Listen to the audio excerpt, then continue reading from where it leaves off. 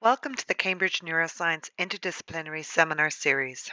This series features current work from across the schools and departments of the University of Cambridge, reflecting the pioneering work and diverse interests of members of Cambridge Neuroscience. Cambridge Neuroscience is currently going through quite a detailed consultation process to develop six new themes for the research we do here. Each of the next 12 talks will come from one of the six new themes, two from each. For more info on the themes and the talks covered in this series, please follow the links below and follow us on Twitter at CamNeuro.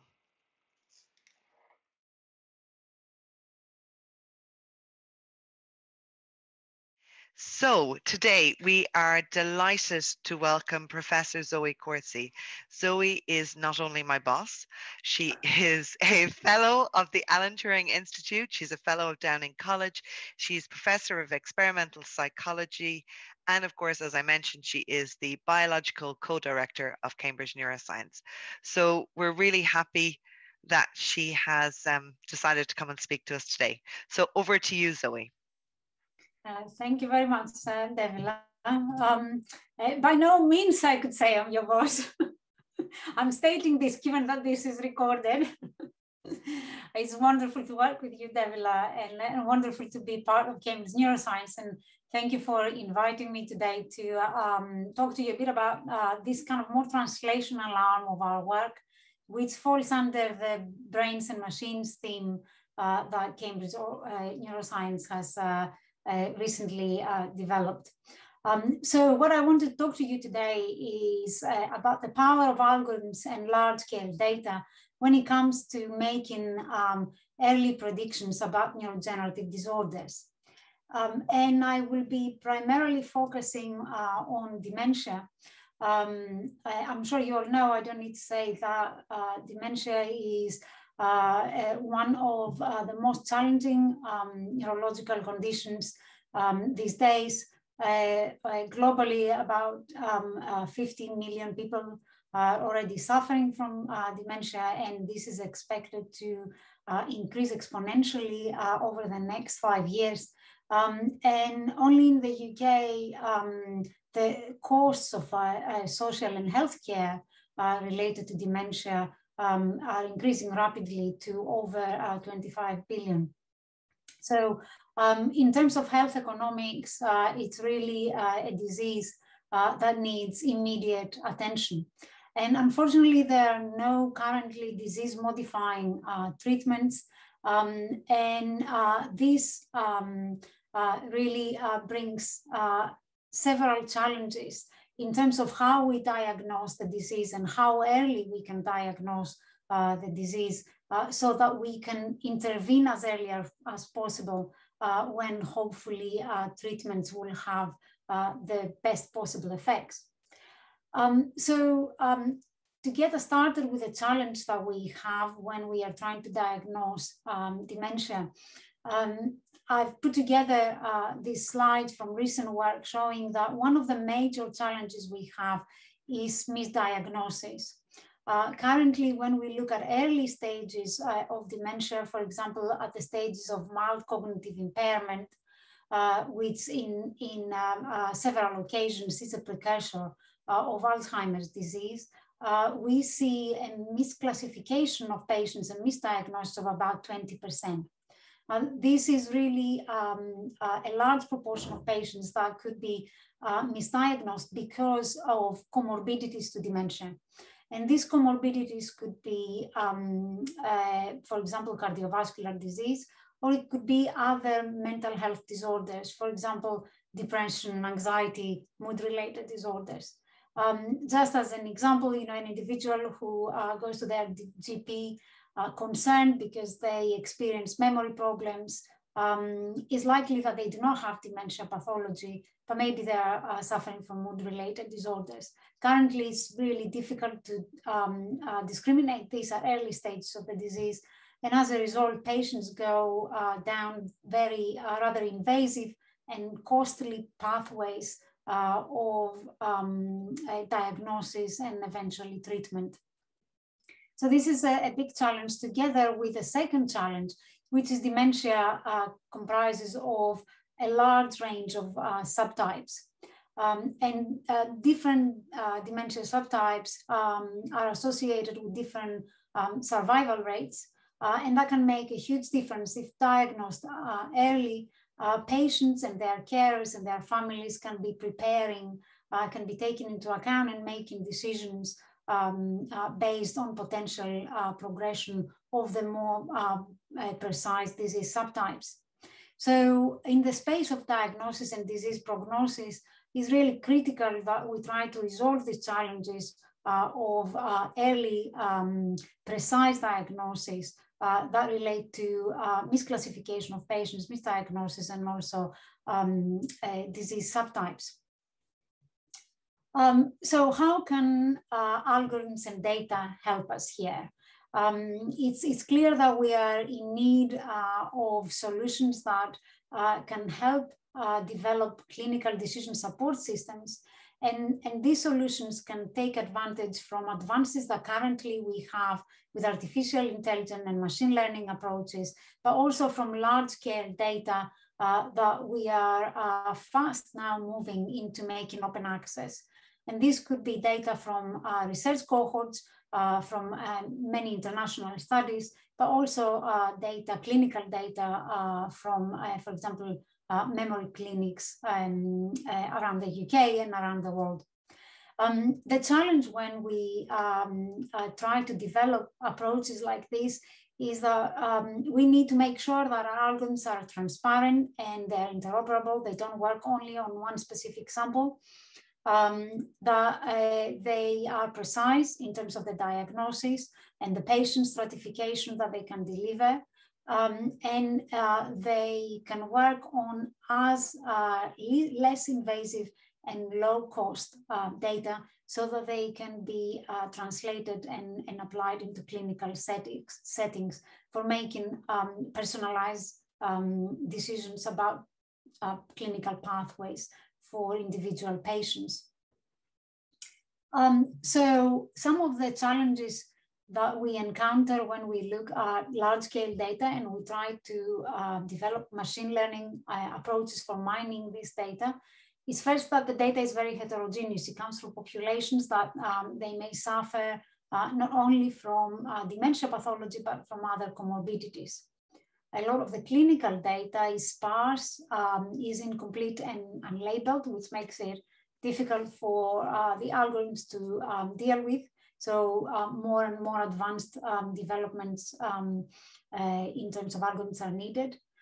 A lot of the scales we use to diagnose patients are um, not very sensitive, uh, while the more predictive data, biomarker data, is actually quite invasive to collect and quite costly uh, when we look into how um, uh, these methods can be integrated into uh, healthcare systems. Um, so today I'd like to focus uh, on Alzheimer's disease and keeping in mind all these challenges, um, I will try to tell you how we try to address these challenges in building algorithms um, uh, to do a specific task, which is uh, to look at early stages of um, uh, dementia at mild cognitive impairment and try to separate individuals that um, uh, will remain stable versus individuals that they will progress. And what you see here is uh, the well-known Jack curves um, that show us that um, dementia is really a continuum um, uh, be, uh, between um, normal health uh, and uh, progression to disease. And there are different types of markers um, throughout this continuum uh, that can give us information about cognitive decline. Uh, and uh, initially, um, the markers we have um, uh, cannot be very highly predictive, only if they are very invasive.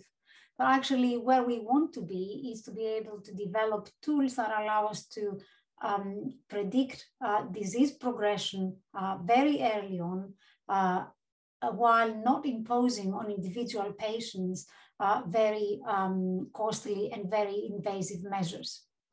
Ideally, where we would like to be is that uh, we develop tools that can be integrated into a health check that the same way that we uh, are checking for cardiovascular disease in younger age groups, for example, uh, uh, people in their 40s, we could be taking for uh, our mental health, about our, our brain health um, uh, in terms of uh, potential um, neurodegenerative disease and, and cognitive decline. Um, so to um, tackle this question, um, what we did is we started uh, looking at large scale data collected uh, in the US, um, and we use a cohort uh, known as ADNI uh, that has information from um, uh, about 1,000 individuals uh, and data collected across many different modalities. And we concentrated um, on cognitive tests and on MRI scans, looking here only structural scans. The idea, again, being um, whether we can make uh, disease predictions early with uh, least invasive tests, like, for example, a five minute uh, structural scan uh, that is typically um, uh, done on the NHS, uh, and scores on cognitive scales. So just briefly to outline the approach we take, um, we um, combine data from different modalities. We train the algorithms uh, using um, metric learning uh, classification algorithms in the space of the machine learning. And then from these algorithms, we interrogate them and we build uh, trajectory um, modeling approaches that allow us to uh, estimate how uh, quickly people uh, progress in terms of um, cognitive decline. So this is the approach that we've taken, and I will take you step by step um, uh, on, on our journey. So the first thing we do is uh, we look, as I said, at structural scans, and we ask the question of, can we extract highly predictive uh, information uh, that relates to cognitive decline uh, from just a T1, from just a structural MRI scan? And what we did here is we looked at a large um, sample of individuals from ADNI, and we, using partially square regression, uh, we tested for clusters uh, um, of voxels uh, in the structural scans that relate uh, to a score called ADNI-MEM. And effectively, this is a composite score uh, from um, different tasks that assess uh, memory ability in ADNI. Um, and what we saw, which was not surprising, but for us, it was actually great evidence that the methods we are using are picking out uh, biologically relevant features is that um, the highly predictive clusters of voxels concentrate in hippocampal and entorhinal cortex regions that we know are heavily affected uh, by dementia uh, and in particular by Alzheimer's disease. And what we found is that uh, this um, uh, cortical density in this region uh, relates strongly with variance in ADNI-MEM scores, um, again, um, building confidence that what we are extracting here as features are clinically relevant, biological relevant um, dimensions. Um, now, um, how do we know this is the case? Is uh, first we see that, as I said, the score that we extract from uh, the PLS regression in terms of cortical density relates first to cognitive um, uh, decline in terms of uh, uh, memory scores.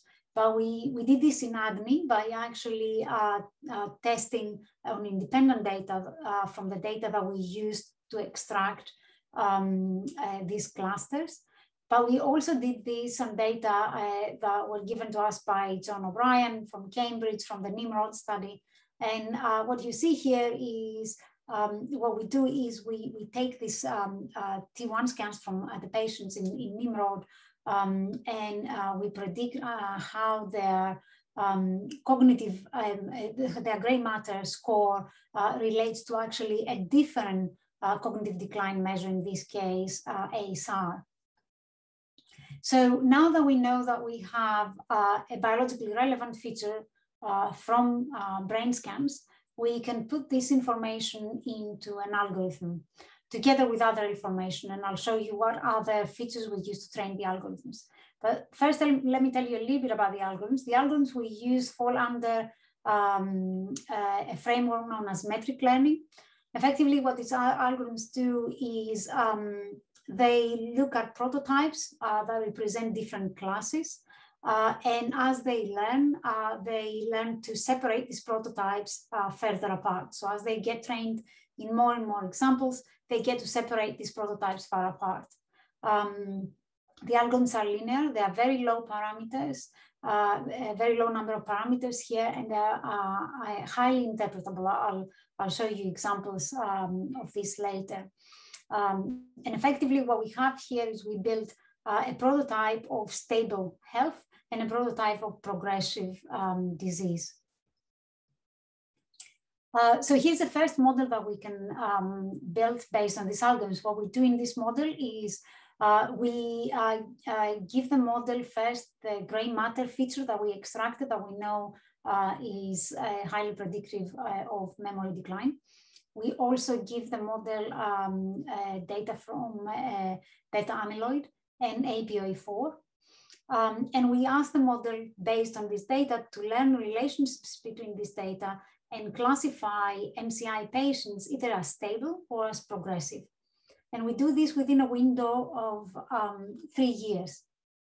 So patients that are consistently given the diagnosis of MCI uh, within this window of three years uh, are labeled as stable, while patients that uh, during the uh, period of three years switch from uh, MCI to Alzheimer's uh, are, are um, labeled as progressive. And as you can see here, uh, the model actually makes this quite fine discrimination with sensitivity and specificity that is higher than 80%. Um, this is not a small achievement. Um, there are models out there that um, they will uh, have much higher accuracy, but primarily for um, uh, uh, decisions that are uh, more discrete, for example, healthy versus Alzheimer's patients. So the, the dimension here that we are trying to discriminate is quite fine. Um, and the other uh, interesting thing about these models is, as I said, they are very transparent. As you can see here in this matrix, you can interrogate the tensors uh, of the algorithms and you can see uh, which are the features or which are the combination of features that contribute more to the algorithm's classification, to the algorithm's accuracy. Um, now, moving on from here, we also built uh, a model that was uh, uh, that learned this type of relationships uh, based only on cognitive data, no, no biomarker data, no biological data. And um, what we gave this model is uh, information about performance in memory tasks, in executive function tasks, and also uh, in um, depression scale. And as you can see, the model, uh, the two models, one we call biological based on biomarkers, the other one we call cognitive based on cognitive data. You see that the models actually predict um, equally well uh, this separation of classes between uh, stable versus progressive MCI, uh, suggesting that potentially at that level of uh, classification, uh, patient classification, um, we could use even cognitive data without any biomarkers and, and hopefully move um, towards making this patient um, uh, diagnosis in, in, less invasive, with less invasive data. Um, now, in the next step, um, we wanted to move away from these binary classifications um, and, and, move away from simply uh, predicting labels and look at individual patient trajectories.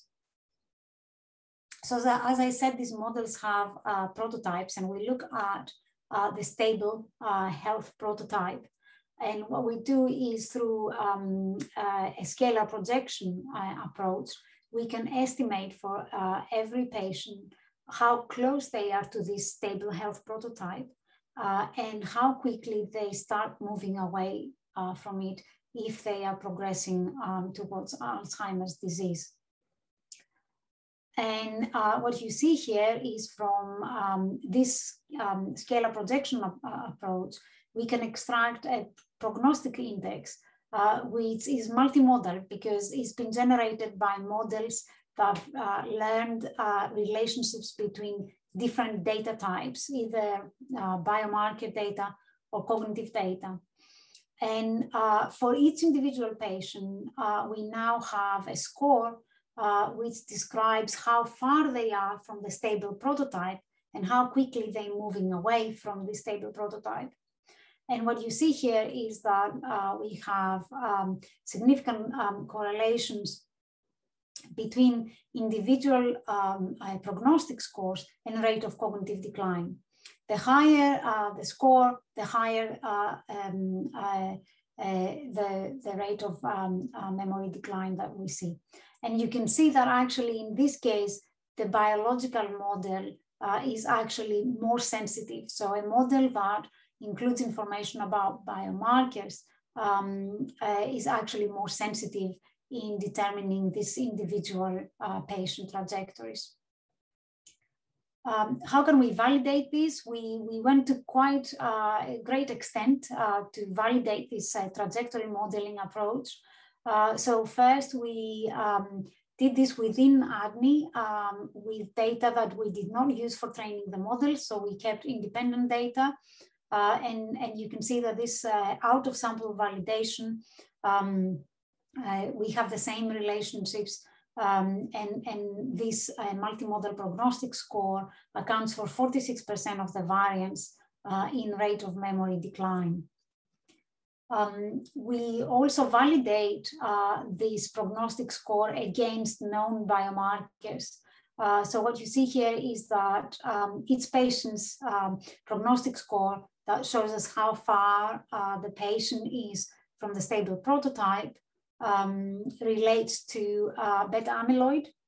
Uh, it also relates to medial temporal uh, lobe atrophy. Um, and uh, it uh, shows differences um, between patients that have either negative or positive APOE4. So um, what this um, analysis tells us, what these results tell us is that the, this prognostic index, which is derived from the model, a model trained with different biomarkers and different cognitive data, is actually uh, biologically relevant. It relates to uh, biomarkers uh, of dementia pathology. Now, the most interesting thing is what we can do with this score. This score now allow us to reclassify patients so um, based on uh, the score that individuals have uh, that comes from the model, and independent of their clinical label, now we can assign patients into different classes. Uh, we can have patients that remain stable and patients that are, appear to be progressing either slowly or rapidly. And, and, what you see here is that we can define based on, on this projection score uh, different cutoffs and reassign, reclassify the patients independent of their labels. And we can do this uh, for patients that um, uh, already have clinical labels of Alzheimer's disease. And you can see that in this graph, you see that patients that are already uh, labeled as Alzheimer's, they mostly fall between slowly and rapidly progressive. Um, but we can do it also at early stages of dementia. And what you see in this graph is that as we go earlier in the stage of dementia, some patients might remain stable, um, and some will progress. And if we have patients at early stage of dementia that remain stable, maybe uh, these patients um, are suffering from comorbidities that can actually be treated for. Maybe they're suffering from mood-related disorders that there are uh, modifying treatments. Um, maybe uh, changes in their lifestyle could actually help. Um, and the most interesting result in this graph is at the bottom, the points that you see at the bottom come actually from pre-symptomatic cohorts. These are cohorts of individuals that have no symptoms. It's before any symptoms occur. And what you see is that uh, from uh, looking at uh, um, just a, a, structural scan and cognitive data from these uh, patients, these individuals that don't even have symptoms, we can then uh, classify them based on this prognostic score um, in, in different um, classes of stable versus slowly or even rapidly progressive um, in a way that we are making predictions about the future. And this is uh, really uh, uh, where the clinical utility of these algorithms, of this approach lies in reclassifying patients and in changing um, potentially the clinical care pathway. So um, when uh, individuals um, uh, come to the memory clinic because uh, of um, problems with their memory or even earlier on, uh, if we are able to incorporate uh, tools like this in health checks, um, we uh, don't necessarily need to assign uh, clinical labels, but we can uh, classify people in different clinical pathways that require different approach to diagnostics and treatment. Uh, patients that based on their algorithm-driven prognostic score are identified as stable uh, they don't necessarily they need to uh, uh, go through the anxiety of six to 12 months uh, of follow-ups uh, until a final diagnosis is given. The algorithm is predicting that um, they will remain stable and they will not show neurodegeneration and therefore they can stay home, be given advice for changes in lifestyle, potentially maybe referred to um, for follow-ups um, in uh, related to mood-related dis disorders, but there are other pathways that they can follow. And this can reduce massively the anxiety of patients and their families and their carers. Now we also, we could also have um, uh, the algorithm predicting um, uh, progression uh, into neurodegenerative disease. And in this case, we could classify the patients as slowly progressing or rapidly progressing again, uh, making a big difference in how fast we act, uh, in uh, whether patients need to be hospitalized or whether they can remain in the community with additional support. Um, so now to move on to uh, one additional um, uh, area that we can work with these algorithms is what I showed you so far uh, relates to how we predict cognitive decline. Uh, and that relates very much to symptoms that patients uh, uh, might be observing, reporting, and, and we are measuring uh, with cognitive tasks. Uh, but these algorithms can also help us um, uh, predict changes in neurodegenerative markers, for example, in the accumulation of tau. And this could be more relevant for clinical trials. Uh, so the approach we've taken here is um, we look at the models we've already trained on ADNI uh, and uh, using the same approach of uh, trajectory modeling, we can now look at changes in tau accumulation and whether we can predict this over um, time. And again, here we work with ADNI data and longitudinal data uh, here is really important um, uh, so that we can see changes over time and test whether the algorithms can predict changes in the rate of tau accumulation. And so what you see here is we can look at tau accumulation uh, in uh, different regions. Um, and uh, we extract for uh, the individuals the same prognostic uh, index from the models. Um, we've done the training of the models uh, on a separate cohort than what we test. We train the model on ADNI2 and we test on ADNI3 and we look at longitudinal changes in, in tau. And you see here examples of uh, temporal and parietal cortex tau accumulation. Um, and you see that this uh, prognostic index um, uh, can predict um, a future rate of uh, tau accumulation.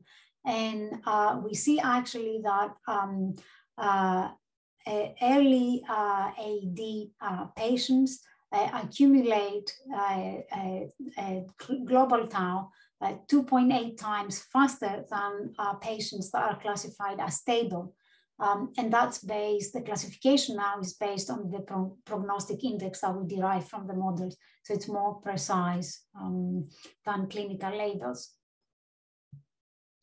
Um, now, uh, more interesting, we can do the same again uh, as before with the uh, cognitive scores. We can do the same uh, with pre-symptomatic uh, cohorts. So we can look at individuals that have no symptoms um, and, and we have data from these individuals uh, in our cohorts and look at potential changes um, in tau accumulation. Uh, and again, uh, we did this with ADNI, but we also used um, a, another cohort um, uh, from uh, Berkeley that uh, has 200 individuals and they are um, uh, tested exactly with the ADNI battery, but they're all pre-symptomatic. And what you see is even in pre-symptomatic individuals, we can predict future um, tau accumulation um, uh, based on, on the multimodal prognostic uh, index that we derive uh, from the models. Um, so to summarize the, the clinical utility uh, of this approach of predicting uh, changes in biomarkers, for example, changes in the rate of um, tau accumulation, um, could be very relevant for clinical trials. So uh, just to give you a couple of examples from the calculations we did, uh, we estimate um, a mean 35% reduction uh, in sample size needed to measure changes uh, in tau versus changes in cognition when we use the gold standard uh, PACC measures uh, for cognition. Uh, and also interestingly, we see that when we use this um, multimodal um, trajectory score, prognostic score, um, we have 30% reduction in sample size uh, needed to measure uh, changes in tau compared to when we use, for example, only beta amyloid. So clearly multimodal data and the algorithms harnessing these interactive relationships between the data can make uh, a, a, big difference in estimating longitudinal uh, changes in both uh, cognitive decline, but also uh, neurodegenerative biomarkers such as uh, tau accumulation. And the clinical utility is that we can reshape uh, the clinical pathway, we can reclassify with more precision uh, patients um, and, and potentially um, make a difference into their diagnostic uh, follow-up and treatment pathway. But we can also, um, uh, uh in the space of clinical trials, uh, strive for um, better patient stratification, more precise patient stratification, and reduce sample size for um, clinical trials.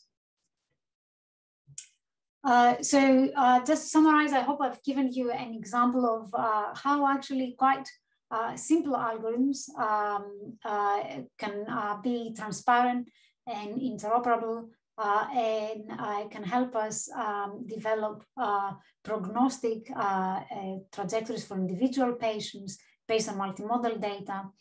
They help us with reducing patient misclassification and having more precise stratification that is key for clinical pathways uh, and also for um, uh, uh, increasing the sensitivity and reducing potentially the costs uh, of clinical trials.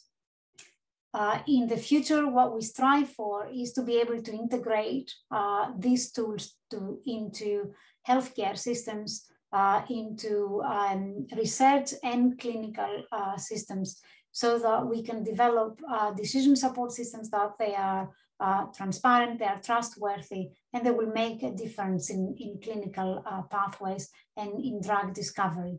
Um, ideally, what we'd like to be able to build is systems that support clinicians uh, to assign the right patients at the right time uh, to the right diagnostic and treatment uh, pathways.